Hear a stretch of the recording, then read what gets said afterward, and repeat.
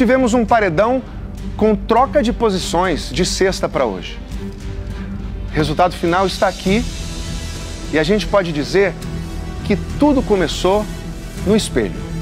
Quem sai hoje é você, Nisa.